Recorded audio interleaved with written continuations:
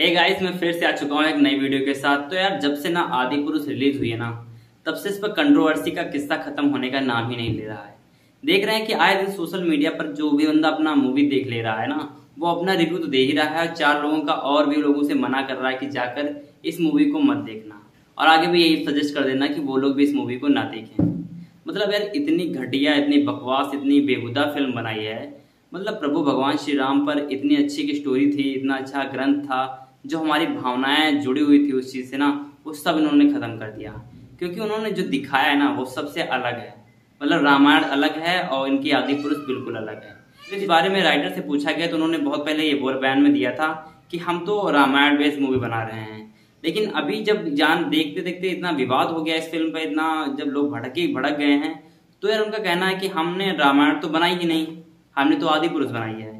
ये हम उससे इंस्पायर हुए हैं, उससे बेस्ड मूवी हमने बनाई है, ये रामायण नहीं है।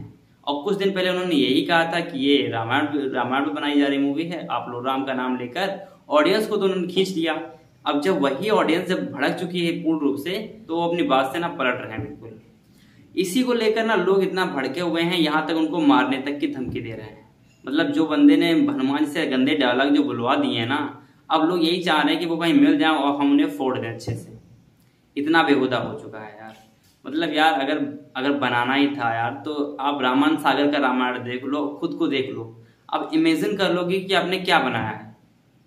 फ़िलहाल गाइज़ यार कंट्रोवर्सी चलती रहेगी, मुझे लग रहा है कि ये किस्सा इतनी जल्दी खत्म नहीं होगा।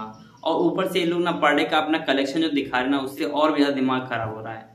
डेली बेस पे देख रहा हूँ यार, डाल दे रहे हैं कि तीन सौ चालीस करोड़, तीन सौ पचास करोड़, तीन सौ अस्सी करोड़। मतलब ये टोटल कलेक्शन दिखा रहे हैं वर्ल्ड वाइज का। ये कलेक्शन दिखा दे रहे हैं। तो यार, जो लोग मूवी देखने जा रहे हैं, मैं तो उनसे यही सजेस्ट करूँगा, यार, तुम लोग मत देखो।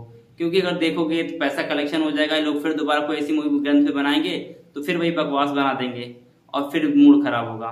अगर नहीं देखोगे जो कलेक्शन नहीं करेगी मूवी लॉस में जाएगा तो शायद उनको कुछ समझ में आए कि हमें ऐसी मूवी नहीं बनाना चाहिए।